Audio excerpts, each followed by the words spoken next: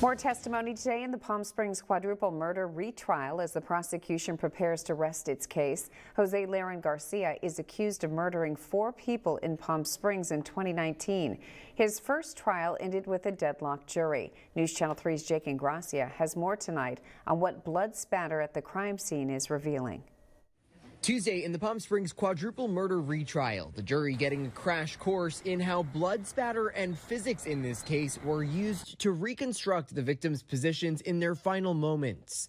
Bloodstain pattern interpreter Craig Ogino was asked to analyze blood that spattered on the crashed Toyota Corolla, where three of the victims were shot. He used the size, direction, and angles of bloodstains to determine a point of origin or where the blood came from, finding the position the victims were in inside the car when the bullets made impact. Ogino reviewed at least four stains with distinct and observable characteristics using a protractor, yarn, trigonometry, and by determining the direction of the blood, he was able to find points of origin, which he is expected to detail in the coming days.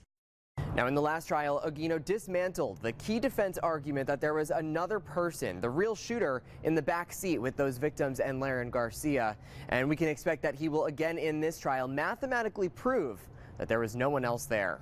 Jake Gracia, News Channel 3, Indio.